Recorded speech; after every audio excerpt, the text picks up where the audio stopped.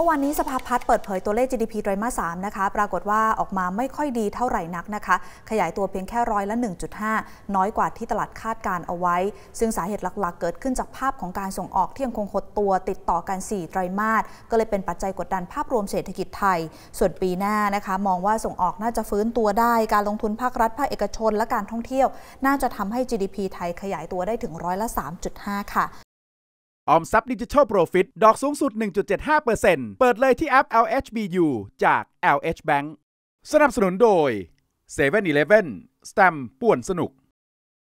โดยคุณดานุชาพิชยนันเลขาธิการสภาพัฒนาการเศรษฐกิจ และสังคมแห่งชาติ หรือสสช บอกว่า ในไตรมาส 3 ผลิตภัณฑ์มวลรวมในประเทศหรือ GDP ขยายตัวได้ร้อยละ 1.5 ต่ำกว่าคาดการนะคะที่ร้อยละ 2.2 และก็ต่ำกว่าไตรมาสก่อนหน้าที่ขยายตัวได้ร้อยละ 1.8 ซึ่งเป็นผลจากการส่งออกขดตัวร้อยละ 3.1 ต่อเนื่องกัน 4 ไตรมาสตั้งแต่ไตรมาส 4 ปี 2565 ขณะที่บริการรับขยายตัวจากนักท่องเที่ยวต่างชาติที่เพิ่มขึ้น การใช้จ่ายของรัฐบาลยังคงลดลง การอุปโภคบริโภคของครัวเรือนขยายตัวต่อเนื่อง และการลงทุนของภาคเอกชนเร่งขึ้น ส่งผลให้ 9 เดือนของปี 2566 เศรษฐกิจไทยขยายตัวได้ร้อยละ 1.9 และสสชนะคะยังได้ประเมินแนวโน้มเศรษฐกิจไทยปีนี้ด้วย คาดว่าจะขยายตัวร้อยละ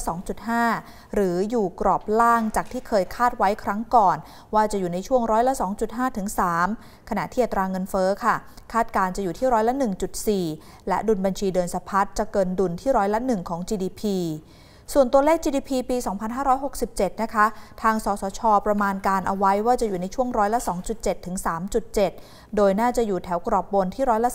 3.5การอุปโภคบริโภคอยู่ที่ร้อยละ 3.3 การลงทุนภาคเอกชนขยายตัวร้อยละ 2.8 มูลค่าการส่งออกสินค้าในรูปของดอลลาร์สหรัฐขยายตัวร้อยละ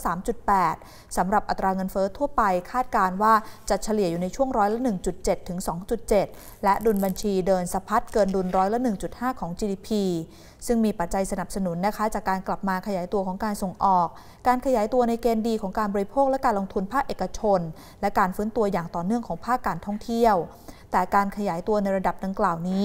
ยังไม่ได้นับรวมผลจากนโยบายดิจิทัลวอลเล็ต10,000 ล้านบาทหนึ่งหมื่นบาทของรัฐบาล เนื่องจากต้องรอคำวินิจฉัยจากคณะกรรมการกฤษฎีกา เพื่อให้ได้ข้อสรุปที่ชัดเจนนะคะ ว่าการทำนโยบายดิจิทัลวอลเล็ตของรัฐบาล จะมีแหล่งเงิน แล้วก็รูปแบบการใช้จ่ายเป็นอย่างไร